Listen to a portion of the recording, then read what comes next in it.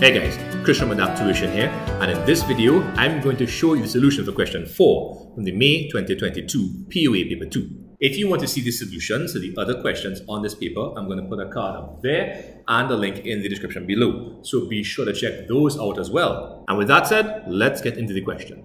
Okay, so the question reads, PN Limited has been asked to submit a business plan for the launching of a new product line. There's three components PN Limited should include about, sorry, in the business plan. Um, just a personal opinion, business plan should not be on a POA syllabus. It should be on a POB syllabus. Anyhow, let's give them. Now, normally I give you guys more than they ask for. I'm just giving you bare three this time. Executive summary, product, service, or description. Sorry, product or service description, and budgets or financial projections. Now, according to what textbook you refer to or what website you get when you Google, you will have many, many different components to a business plan. What they have on the CSEC POA syllabus or in the CSEC POA textbooks is not gospel, right? They are just that author's interpretation of what he or she may have learned on their own. There are other versions of business plans which I encourage you to explore, right? Now, let's check on the next part of the question. So it says the authorized share capital for PN Limited is as follows. We have 200,000 ordinary shares of a dollar each, 500,000 8% preference shares of 50 cents each. And we have some transactions with the shares. On the 1st of June 2021, PN Limited issued 100,000 ordinary shares for $1.80 each. Now that's more than the, the par value of a dollar, right? There's 80 cents over. That's a share premium. The shares were fully subscribed and paid up. That means they were all bought and paid for. On the 21st of November that same year, PN Limited issued 200,000 8% preference shares at a dollar each. Now the par value for the preference shares was 50 cents. So this is also, um, these shares are also being issued at a premium, right? So these shares were also fully subscribed and paid up. And on the 1st of April 2022, PN Limited issued $80,000 worth of 6% debentures. Now, what do they want us to do? Use the form provided on page 19 to prepare journal entries to record the three transactions above for PN Limited. Narratives are not required. Let's take a look at the format they gave you. So basic general journal format, date, details, folio, debit, credit with six marks. Okay, back to the information. Okay, so the first item, if we issue 100,000 ordinary shares at a dollar and 80 cents each, we're going to bring in $180,000 worth of share capital, right? That's we obtain that figure by multiplying 100,000 by a dollar and 80 cents. Now, if you want to check out how to do journal entries related to share capital and limited companies, I'm going to put a card up there and a link in the description below to my tutorial on that topic. So be sure to check it out. And then if you want, you could come back here. Right now, again, 100,000 by 180, 1.8 will give us 180,000. Now, in journal entries, you enter your debit entries first and your credit entries are entered second and are indented relative to the debit entries. What accounts are we crediting? Well, what did we issue? Where did the money come from? It came from the issue of share capital, ordinary shares. How many ordinary shares did we issue? 100,000. At what value? A dollar and 80 cents. But the par value as given to us above here is a dollar. So you have to multiply 100,000 by 1 to show the uh, par value because you have to show your par value separate to your premium. You cannot show both of them together right? The premium was 80 cents a share, right? So I put the work in 1.8, which is the issue price, minus the par value. So 1.8 minus 1 will give us 0.8, 80 cents per share, which is the premium. And you multiply that by the number of shares, which will give us the total value of the premium coming in. And again, the sum of the credits must be equal to the debits, all right? Now, for the next item, PN Limited issued 200,000 8% preference shares at a dollar each. Now, 8% is the dividend rate. That does not come into play when we are issuing shares. It forms no part of the calculation when you issue shares, right? Now, they issue 200,000 preference shares at a dollar each.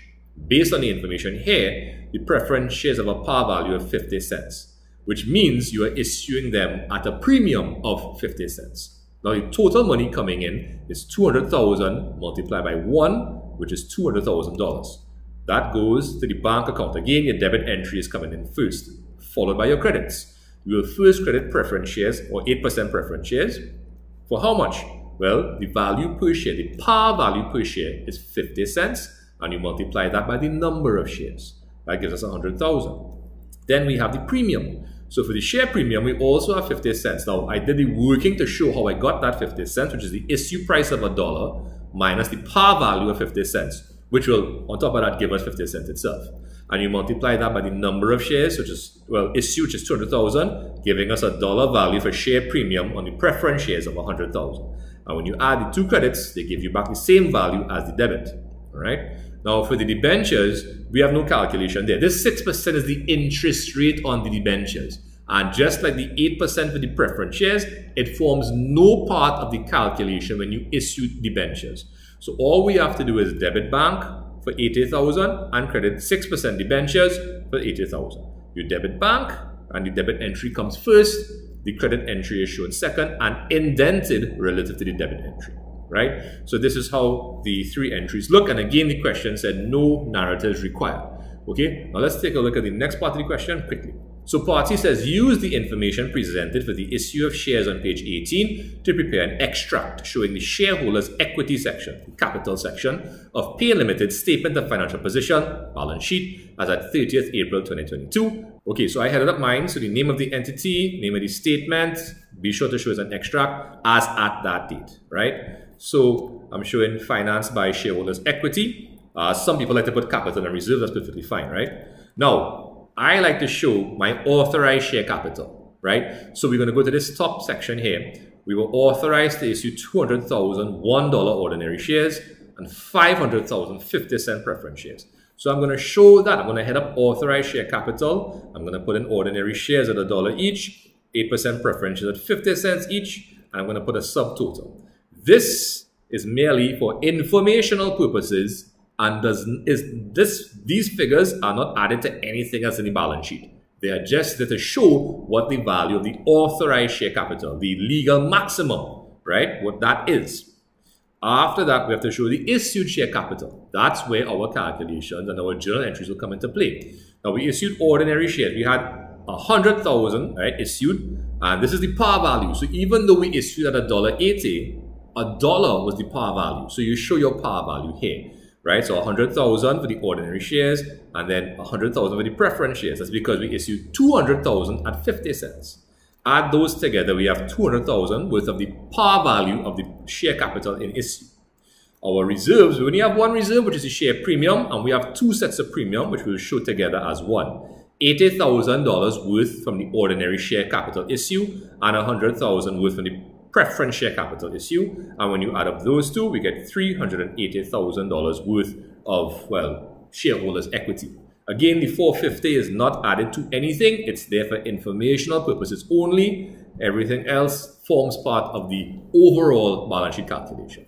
Okay, that's it for this part of the question. Let's take a look at the next part. Okay, so part D says during the financial year ended 30th April 2022, Payne Limited declared and paid an ordinary dividend of 5 cents per share and paid out the dividend due on the preference shares. For each type of share specified in the table below, calculate the amount of the, the amount the company paid out in dividends for the year ended 30th April 2022.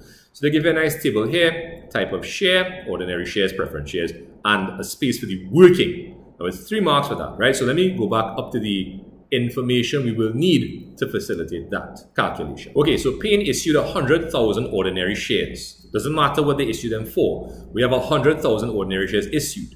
The dividend per share is 5 cents per share. So all you have to do is multiply 5 cents per share by 100,000 shares. That's gonna You're going to see that working here, right? 0.05 per share by 100,000 is $5,000. So that's the total amount that's being paid out in respect of ordinary dividends, right? Now the preference dividend, you issued 200,000 preference shares, which have an 8% dividend rate. Now, the preference shares have a par value of 50 cents, right? So when you multiply the 200,000 by 50 cents, you're going to get $100,000 worth of preference shares. And that's what you multiply the 8% by. 8% by the $100,000, right? So you'll see that here, 8% of 100,000 is $8,000, right? And that's it for Part D. Let's talk about Part E very quickly. So Part E says Payne Limited is planning to raise additional capital through another issue of shares. Calculate the additional number of 8% preference shares that the company can issue. Let's go back up to the initial information to check that out. Okay, so we have authorized 500,000 preference shares and we have issued 200,000 preference shares. So all we have to do to find out how many more shares we can issue is subtract.